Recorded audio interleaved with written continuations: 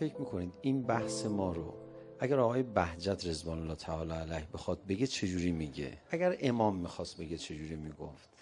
اگر می‌خواست این بحث رو امیرالمومنین علی علیه السلام بگه چجوری می‌گفت؟ حساس تر میشید یا نه؟ بله. اگر این بحث خدا بگه چی؟ یه آخرشه دیگه. واقعا خدا بخواد یه سخنرانی طراحی کنه چجوری در چی یعنی چیکار می‌کنه؟ از چجوری وارد بحث میشه؟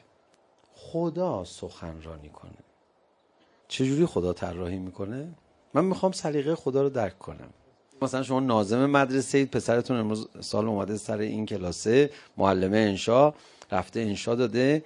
مثلا پدر و مادر خود را چگونه می‌بینید؟ بعد میگه خب چه جالب انشا دادی. بچه منم بودی. آره بچت نوشته. ببینم ببینم. با چه کنجکاوی؟ درسته؟ کنجکاوی. دوست دارید ببینید اون چی گفته. برای وقت گذروندن نمیرید. واقعا کنجکاوی می‌کشه شما رو. من می‌خوام ببینم این چی گفته چه جوری گفته. تو رو خدا یه بار قرآن رو اینجوری بخونید.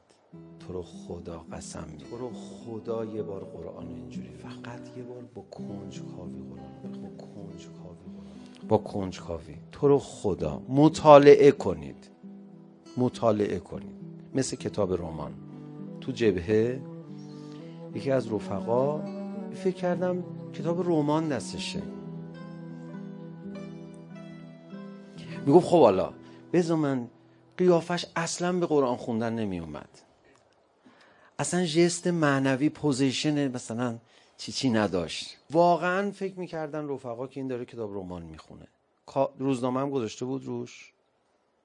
پوسیده بود ورقه ها بعد مطالعه می‌کرد. دیگه آدم مطالعه می‌کنه یه ناخداگاه دستشو می‌ذاره رو سرش انگار در این دسته تمرکز میده. یه بار بهش گفتم ببینم چی می‌خونی تو؟ اه قرآنه. گفت آره. می‌خوام یه دور ببینم خدا در مورد چیا حرف زده.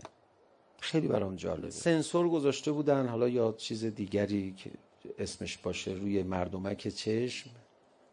و بعد صدها نفر رو امتحان کرده بودن. مردها چگونه نگاه می‌کنن؟ زنها چگونه نگاه می‌کنن؟ خیلی اطلاعات جالبی می‌داد. مثلا می‌گفت ما صد نفر رو امتحان کردیم گفتیم این عکس رو نگاه کن. خانوم صد نفر. آقا انتخاب کردیم گفتیم شما این عکس رو نگاه کن. بعد می‌گفت خانوما مثلا اول این عکس رو اول دوم سوم چهارم به نوک اتو شده کتش نگاه می‌کنن. قرآن این تست رو برای خودش اجرا کرده گزارشش رو به شما داده. من جهان رو اینجوری نگاه می‌کنم. خیلی هیجان انگیزه. خدا تو این تست شرکت کرده. من وقتی نگاه می‌کنم از کجا نگاه می‌کنم؟ به چیا می‌پردازم؟ وای خدای من. نگاه خدا رو ببینیم. یه کمی کنجکاوانه قرآن بخونی یه اتفاق معجزه آسای دیگه هم میفته شما رفتی سراغ یه کتاب. کتاب نوشته حالت زنده نداره. بلند نمیشه راه بره. دیدی برنامه های تلویزیونی مثل زنده؟ کتاب یه متن زنده که نیست یه متن مرده است. یه مدتی قرآن رو مطالعه می‌کنی از سر کنجکاوی یه دفعه این کتاب تبدیل میشه به یه کتاب زنده. چجوری؟ بذار قشنگ برات نظر فنی توضیح بدم. شما یه معنایی از هر لفظی برداشت می‌کنین دیگه درسته؟ خدا میاد بین اون معنا و ذهن تو شروع می‌کنه. اون معانی رو برات سازماندهی کردن. امروز می‌خونی یه چیز می‌فهمی فردا می‌خونی چیز دیگه می‌فهمی. امروز چی فهمیدی؟ اونی که لازم داری. فردا می‌خونی. چی می‌فهمی؟ اونی که فردا لازم داری. اللهمه تبا تبایی رضوان الله تعالی علیه میفرمودن من یک روز ده بار یک قسمتی از آیات قرآن رو بخونم هر بار یه چیز جدید می‌فهمم. هر بار یه چیز جدید می‌فهمم. هر بار یه چیز جدید می‌فهمم. هر بار یه چیز جدید. بعد خدا شروع می‌کنه باهات حرف زدن.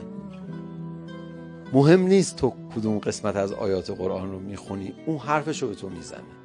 بعد مستقیم شروع می‌کنی. با خدا خدا شروع می‌کنه با تو حرف زدن و اینو حس می‌کنی. حس می‌کنی. یه معجزه است. کی میگه خدا ساکت حرف نمی‌زنه؟ کی میگه خدا ساکت حرف نمی‌زنه؟ کی میگه خدا ساکت حرف نمی‌زنه؟